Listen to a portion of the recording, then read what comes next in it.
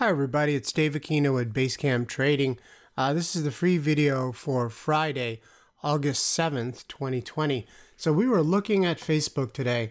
Uh, first of all, amazed at the strength of the, the breakout here after earnings.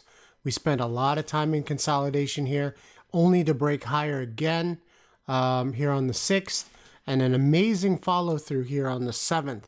Now, this kind of market action uh, is a little deceiving. So we had a very strong move at the beginning of the day.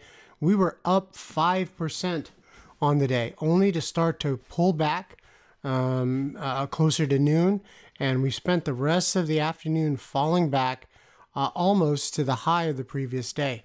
Now, this type of uh, bar is usually a sign of a reversal, this kind of spike higher here. Now, again, there's still some really good daily momentum but you can't get past the the, the feeling of disappointment uh, of the Bulls that this thing really kind of fell apart here. when we were up almost 5%, now we're only up about six tenths of a percent. And uh, we could uh, continue to fall here, uh, finding only support because of yesterday's high. Again, it's a little bit in doubt if Facebook can move higher because it's really hard to overcome that basically 4.5% reversal. Uh, so this may be a reversal spike in Facebook.